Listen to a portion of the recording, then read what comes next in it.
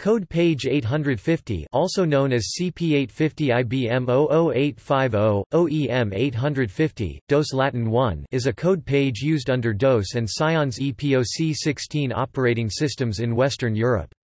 Depending on the country setting and system configuration, code page 850 is the primary code page and default OEM code page in many countries, including various English-speaking locales e.g. in the United Kingdom, Ireland, and Canada, whilst other English-speaking locales like the United States default to use the hardware code page 437. Code page 850 differs from code page 437 in that many of the box drawing characters, Greek letters, and various symbols were replaced with additional Latin letters with diacritics, thus greatly improving support for Western European languages all characters from ISO 8859-1 are included. At the same time, the changes frequently caused display glitches with programs that made use of the box drawing characters to display a GUI-like surface in text mode.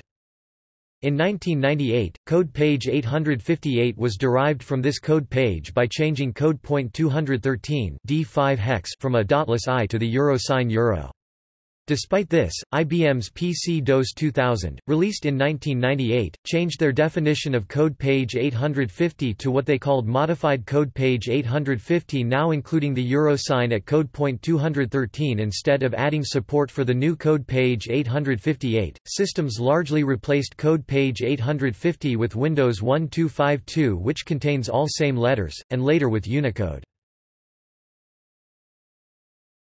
Topic. Character set The following table shows code page 850. Each character appears with its equivalent Unicode code point and its decimal alt code.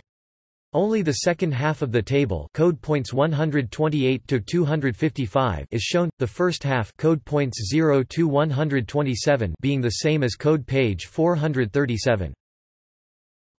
Letter number punctuation symbol Other undefined differences from code page 437 Topic. See also. Western Latin character sets computing. Hardware code page. LMBCS1 Topic. Notes